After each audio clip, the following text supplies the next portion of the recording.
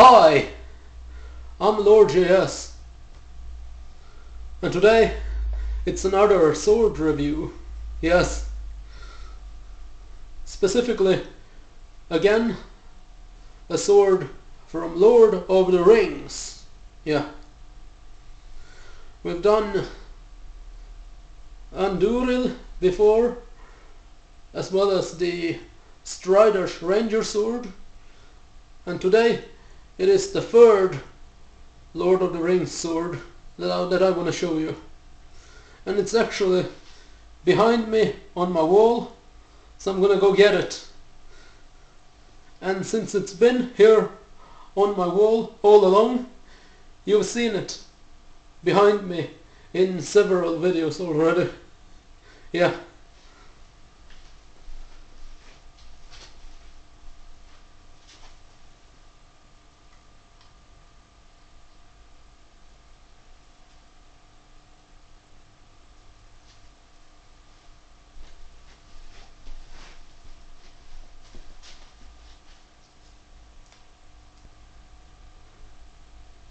And it's this one. Yeah, Glamdring, the sword used by Gandalf, though originally within the story this weapon was not meant for him. It was the sword of Turgon, High King of Gondolin. Yeah. In case you don't know, Gondolin was previously the capital of the elves in Middle-earth. Yeah, so. And Turgon was the king there, and this was his personal weapon. It, it has a grip which is beautifully done in a dark, elegant naval blue, and it has the runes on the guard here as well as the little blue gemstone here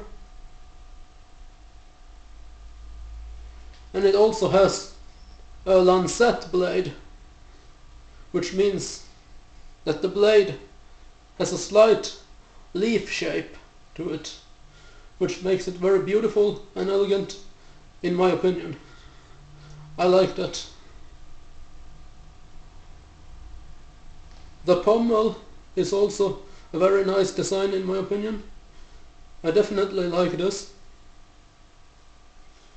And the grip is long enough that the sword can be wielded with two hands, like this.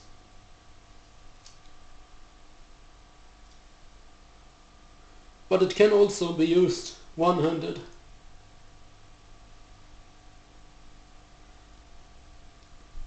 I definitely like this one. And it's very accurate to how it looks in the movie. Or the movies rather I should say.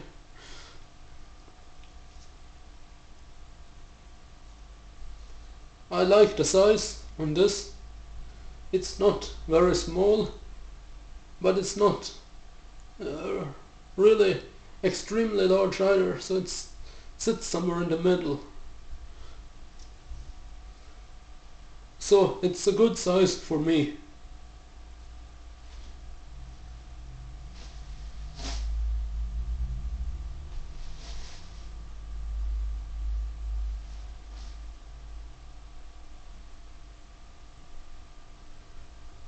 The weight of this blade is very good. It's a little bit towards the heavy size but it's definitely acceptable. At least I think so.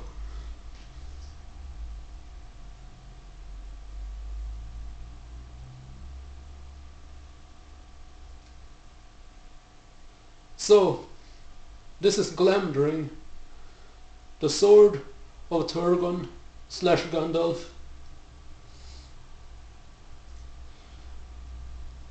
Amazing. And this is one of the three surviving Gondolin blades along with Orcrist and Sting. So one of those special Gondolin blades that can glow blue in the presence of orcs.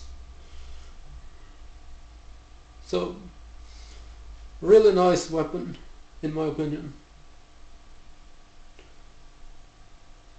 I definitely can recommend this.